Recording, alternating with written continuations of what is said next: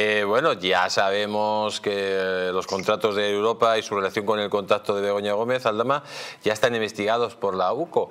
Eh, ¿Cuándo va a empezar directamente la Guardia Civil a sacar cosas que impliquen ya abiertamente a Begoña Gómez en esta trama? Porque al parecer hay órdenes, están esperando la orden para empezar a investigar.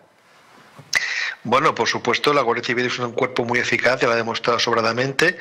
Es un cuerpo con centenares, bueno, que prácticamente en sus casi 175, creo que llevo años de historia ya, han, han, sido claves en la lucha contra el delito en España y, lo, y la única razón por la cual pues no están yendo más allá, obviamente es porque tienen unos mandos políticos que no están muy interesados precisamente en ir más allá. Esto es lo que deducimos mucho y lo que muchos pensamos, porque realmente siempre, les ponen freno cuando han demostrado que por su, por su capacidad y por su talento y por su dedicación son, gente muy, muy rápida y muy, muy concienzuda.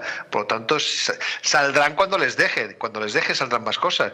Y yo espero que la, yo espero que la justicia apriete a, Interior para que no ponga trabas, porque recordemos que, la Guardia, que la Guardia Civil es un ministerio, es un cuerpo muy jerarquizado y que depende de, interior y si, claro, si aunque ejerza de policía judicial, si le ponen trabas desde el ministerio, pues obviamente tienen, irán más lentos, pero yo estoy convencido que la Guardia Civil hará su, hará su trabajo, lo hará bien y todo saldrá a la luz. ¿Y qué, ¿Y qué condiciones puede estar la Guardia Civil, el responsable de esa unidad de que está investigando, en qué condiciones puede estar ante un ministro como Marlasca y ante un señor como Pedro Sánchez? Tienen que ser unas condiciones pues muy delicadas, porque claro, eh, en el momento que toquen el hueso de Begoña, pueden incluso pasarle como les pasó a los al teniente coronel eh, que llevaba el cuerpo de élite de, ahí en Barbate, ¿no?